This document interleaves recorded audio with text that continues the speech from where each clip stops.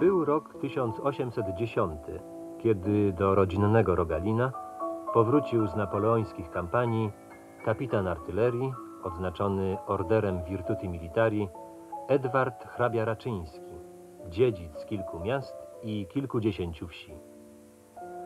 Dotąd ludne i gwarne sale wielkopańskiej rezydencji nagle opustoszały. Skończył się czas hucznych zabaw i wystawnych przyjęć. Nowy gospodarz nie znosił czczej gadaniny o koniach, psach, kartach. Wyznawał zasadę, że im większe dał Bóg człowiekowi stanowisko i majątek, tym większy na niego włożył obowiązek.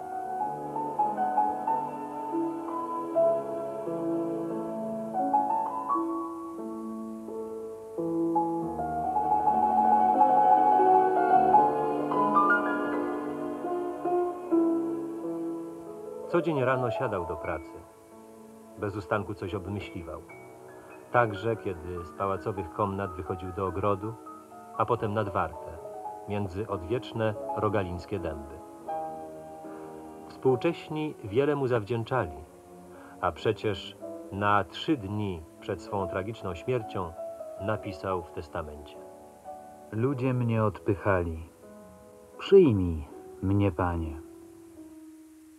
Zmarł przedwcześnie, wśród okoliczności przykrych i przygnębiających. Działacz najbardziej chyba ofiarny w dziejach Wielkopolski.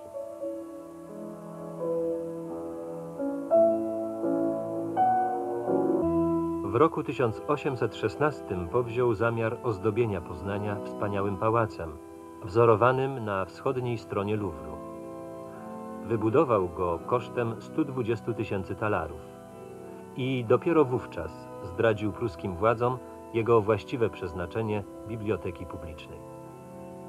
Na początek ofiarował jej 17 tysięcy tomów.